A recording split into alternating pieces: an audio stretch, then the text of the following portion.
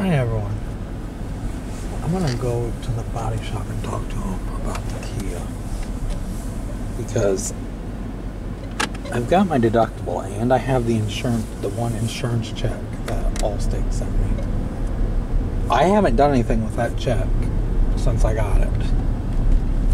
It's good for a year, but I'm sorry, I've got over 1500 right there that is supposed to go to fix the Kia. And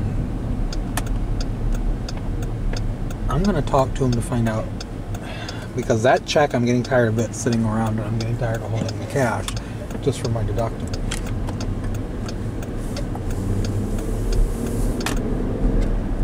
Because I really would like to get my car back.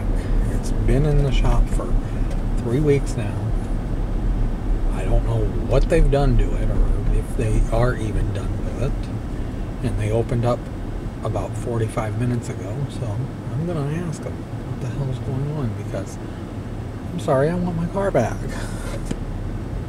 It's been in there long enough, and especially when the estimate said 10 days and he said 45. Well, supposedly 45 days was because they were fighting with the insurance company. Well, he knows what the hell's going on. It's just I'm getting to a point where I'm getting irritated with that shop.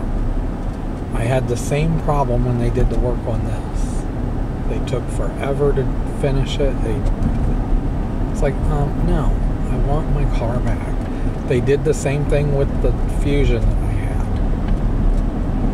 It's like, no, I'm getting to the point where I'm tired of it. I'm not going to wait any longer.